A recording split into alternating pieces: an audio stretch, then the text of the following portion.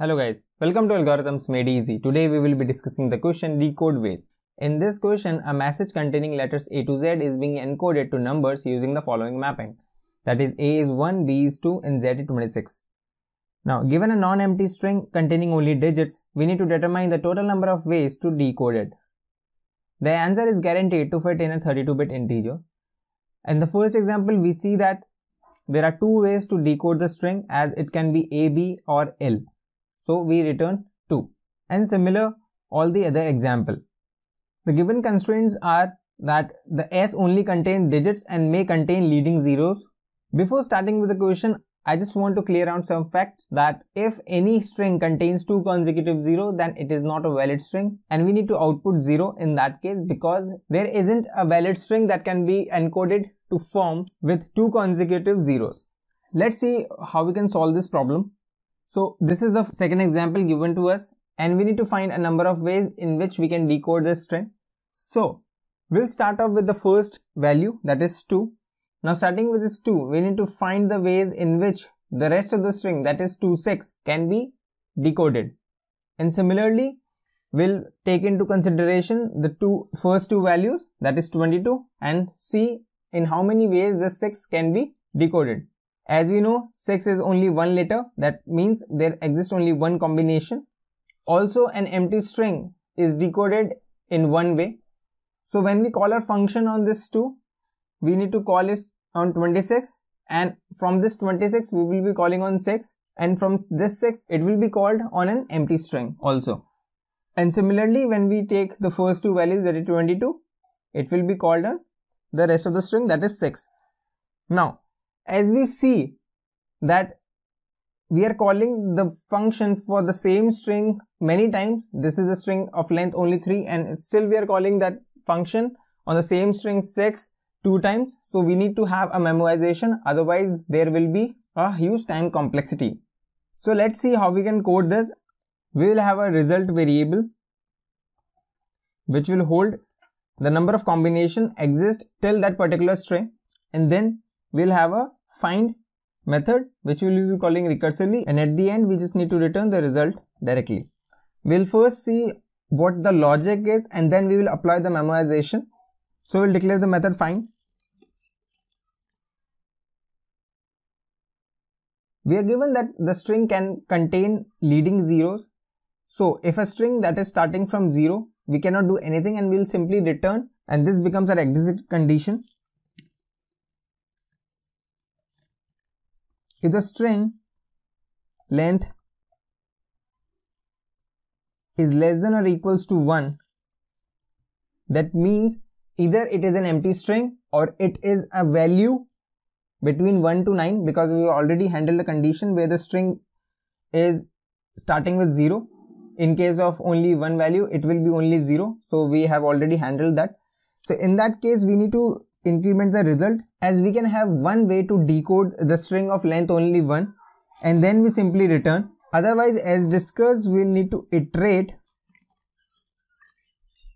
on this string for the first two elements. So the value will be from the starting till the i plus 1 if this value is greater than equals to 1 or it is equals to 26 then you have to recursively call the method on the rest of the string. Now this is the logic that we need to follow in order to find the result but this has a time complexity of 2 raised to power n. Now how we can reduce it? We can reduce this by using a space. In this case we will be using a hash map when the key will be a string value and the value will be an integer. We'll take that as we need to first initialize this map. We will be storing whatever value we are having in result at each iteration. So we'll put the value corresponding to this substring on which we call the method and then putting whatever value of result into it.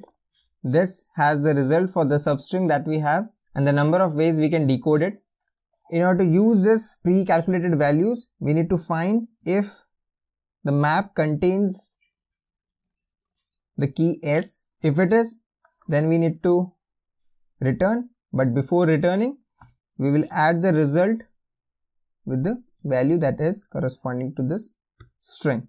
Now, when we run this code, we get the right result. Let's submit this. So it got submitted successfully. This has a time complexity of O of n and while the space complexity is also O of n.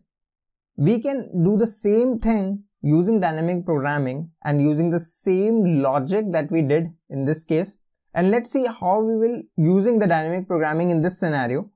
So suppose the same input is there that is 2 to 6. We need to have a DP array of length plus 1 that is 4. What does dp of 0 represent? dp of 0 represent the combination of length. That is, in how many ways we can decode the string of length 0, length 1, length 2 and length 3. And as you can make out, the answer to this question lies in dp of 3 because the length of our string is 3. So, as we know an empty string can only be decoded in one way, we'll directly put 1 in dp of 0 now, in order to put the value at dp of 1, we need to check if the first value is 0 or not. If it is a 0, then the dp of 1 will be 1, otherwise it will be 0. In this case, it is 2, so we'll put the value 1 in it. Now, starting from 2, we will start our loop till the end of the string.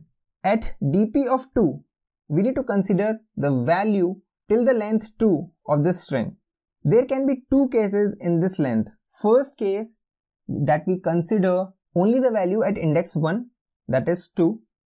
So in this case we get the current value at the index and as this value is between 1 to 9 we are sure that in the number of ways in which we can decode the string taking one string at a time will be the same. So we'll copy whatever value is there in dp of i minus 1 into this uh, dp of i.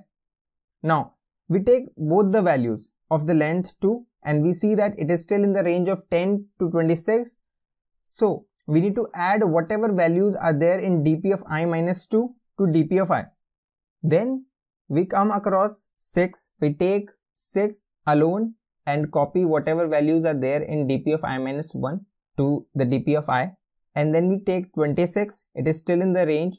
So we need to add whatever values are there in dp of i minus 2 to dp of i and so the answer becomes dp of 3 that is the number of combinations or the number of ways in which we can decode a string of length 3. Let's see how we can code this and get the result.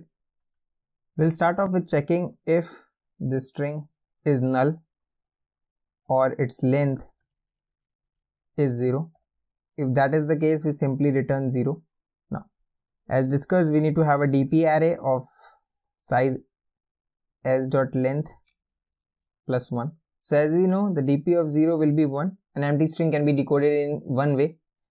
And then we need to put value in dp of 1 which will be equals to it is dependent on the first character. If it is a 0 then it is 0 otherwise it is 1 so we'll check if if it is 0 then it is 0 otherwise it is 1 now we need to loop from second till the length. And there are two cases as we have discussed either the only value at that particular index or or the string of length 2 so to take both the values we will use length 1 which will be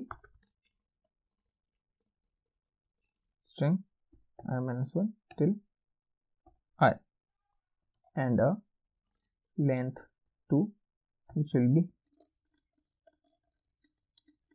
now we need to check if the length 1 should be greater than equals to 1 and the value should be less than equals to 9 if that is the case we then simply add the value of dp of i minus 1 and for length 2 if it is greater than equals to 10 and less than equals to 26 then we at the value i minus 2 into this index. At the end the answer lies at dp of s of length. So when we run this code we get the right result. Let's submit this. So it also got submitted successfully.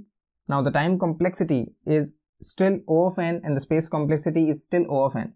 We can reduce the space complexity to O of 1 that is constant space that is we do not need any DP array because if you see it clearly we are just using two values at a time and then using those values we need to find the third value. So we do not need a DP array for that. So now let's remove this DP array. We'll take the first value as DP1 and then a second value which will be dp2 in this we need to have a dp variable which will be initially 0 we'll update this value with the dp1 and dp2 we know that the values are in this sequence that is dp2 dp1 and dp so the new sequence every value should shift 1 that it becomes dp2 and this becomes dp1 so in order to achieve that what we need to do is so we'll make dp2 to dp1 and dp1 will now become the dp at the end the answer will be in dp1 so we'll return that. Let's run this code so it runs successfully. When we submit this so we need to have a condition. If the char at 0 is 0 then we simply return 0 now when we submit it so it got submitted successfully. The time complexity still remains o of n while the space complexity is now o of 1 that is constant space. Thanks for watching the video. See you in the next one